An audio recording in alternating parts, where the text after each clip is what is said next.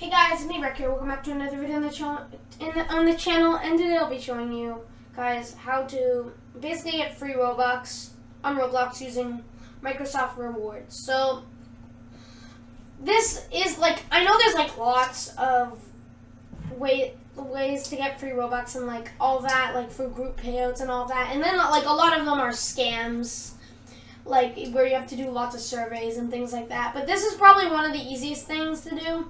So like, and it's also official because it's by Microsoft. So it's called Microsoft Rewards, and you can access it by and all you have, and all you have to do to get points for it is just use your computer kind of. So you can like use your computer and do like search stuff on using Microsoft Edge, and you get all these um all these points that you can uh, that you can have to go to like either like a gift card or and things like that. So yeah, this way you can get it by Roblox codes and yeah.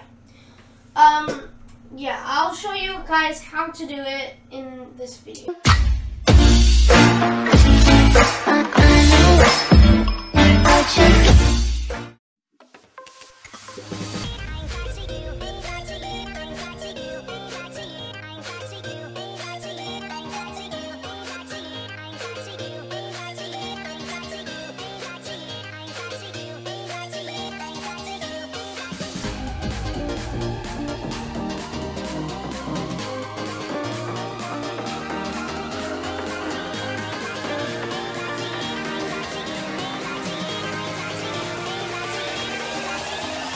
It.